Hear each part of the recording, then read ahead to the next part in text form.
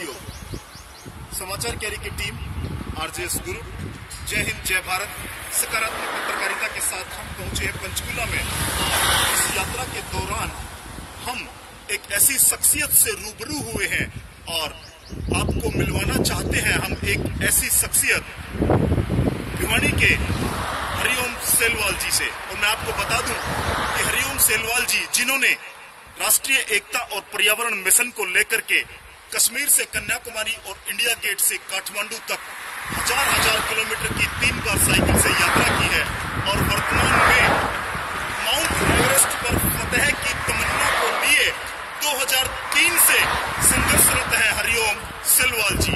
हम बात करते हैं हरिओम सिलवाल जी से। हरिओम जी, आपका कैसा अनुभव है? जैसा कि आपने हमें बताया कि 2003 से आप माउंट एवरेस्ट पर फतेह करने के लिए प्रयासरत हैं और आपने काफ़ी कोर्सेज भी किए हैं।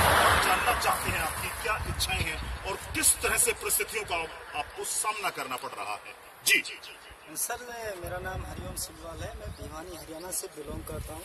मैंने बेसिक एडवांस और रिसर्च एंड रेस्क्यू 2003 और 2004 में किया तो जिन बच्चों ने हरियाणा से मेरे बाद में बेसिक एडवांस कोर्स किए कंपनी की तरफ़ से उन्होंने उन्हें सहायता प्राप्त हुई।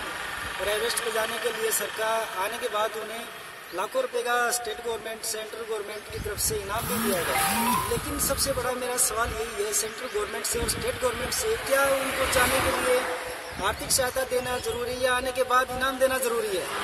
आने, जाने के लिए आर्थिक सहायता स्टेट गवर्नमेंट सेंट्रल गवर्नमेंट देना नहीं चाहती, सिर्फ़ अपनों को देना चाहती है। एनसीसी के जो ग्रुप जाते हैं, जो बच्चे एनसीसी से बिलोंग करते हैं, उन्होंने बेसिक एडवांस नहीं किया है, वो उनको सिर्फ़ लेके जाते हैं। एक हल्की सी प्रैक्टिस के बाद वो एवरेस्ट पे जा सकते हैं, क्योंकि उन लोगों का संपर्क है। जिन्होंने किसी कारणवश एनसीसी ज्वाइन नहीं किया, वो डायरेक्टली कोर्स किए हैं। प्राइवेट साइड से उनको स्टेट गवर्नमेंट पैसा ही नहीं देना चाह रही है सिर्फ़ अपना अपनों को देना चाहिए। कांग्रेस का सिर्फ़ एक ही नारा रहा हाँ, कांग्रेस का हाथ सबके साथ। लेकिन सबके साथ था तो एक जो रेस्क्यूअर था उसको क्यों नहीं मतलब सहायता दिया गया किसी भी स्टेट गवर्नमेंट की तरफ़ से? ठीक है अभी बीजेपी का नारा सबका साथ सबका विकास। मैं न खाऊँगा न खाने दूँगा। मोदी घर पे मैंने ज्ञापन दिया उसके बावजूद मेरी सुनवाई नहीं है। जब से मोदी सरकार आई उसके बाद मैंने पत्राचार किया उसका भी कोई जवाब नहीं है। तो ऐसी अगर कार्यशैली रहेगी तो शायद मेरे जीवन में मुझे न्याय नहीं मिलेगा। ठीक है? मैं इतना हताश हो चुका हूँ कि कई बार मुझे ऐसा लगता है मैं भारत की बजाय किसी गुलाम देश में रह रहा हूँ। अगर मैं, अगर भारत में वास्तविक रूप से लोकतंत्र होता तो मेरे साथ शायद इतना बड़ा नहीं होता। इसलिए अंत में मैं यही कहना चाहता हूँ, या तो मेरे साथ ये न्याय किया जाए। अगर न्याय मुझे नहीं मिलता है तो मैं, मुझे आजीवन यही रहेगा कि भारत में लोकतंत्र है ही नहीं। एक दिखावे तौर पे सिर्फ़ अपनों के लिए है। न कि वास्तविकता के आधार पे है। अभी वर्तमान में ही जस्ट जो बीजेपी सरकार ने एक रवि नाम का एक लड़का एवरेस्ट पे जाने के बाद गुजर गया, उसकी सर्चिंग बॉडी के लिए उनतालीस से पैंतालीस लाख रुपए खर्च किए।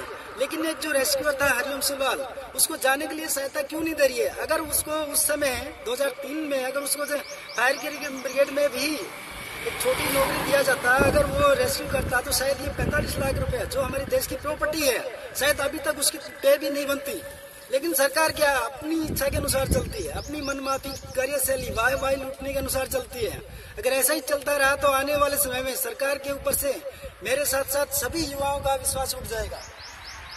और निश्चित तौर से एक गंभीर सवाल आज यहाँ खड़ा कर रहे हैं हरिओम सेलवाल जी।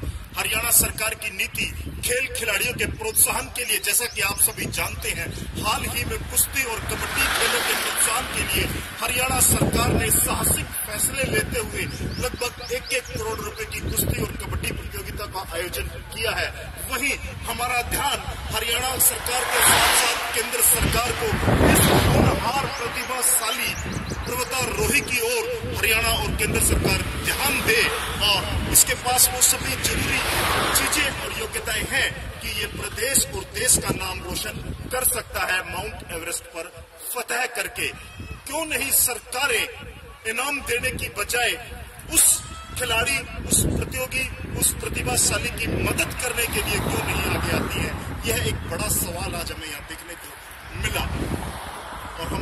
टीम आरजेएस के सभी साथी, वरिष्ठ हमारे साथ साथी हैं संयोजक उदय कुमार मन्ना जी, सुरेंद्र आनंद जी, हरीश जी, और यहाँ पंचकूला के सेक्टर 26 में जय हिंद, जय भारत यात्रा के दौरान हमें इस शख्सियत से बात करने का हमें एक मौका मिला। हमारे साथ हुड्डा साहब हैं, खिडवाली से हैं, और उन्होंने हमें रूबरू कराया है इस शख्सियत से। तो हमारा पुनः ये सवाल कि इस तरह के प्रतिभाशाली व्यक्तियों को क्यों नहीं प्रोत्साहित करती है सरकारें? कैमरामैन रवि कुमार के साथ समाचार कैरी के लिए संदेश की रिपोर्ट।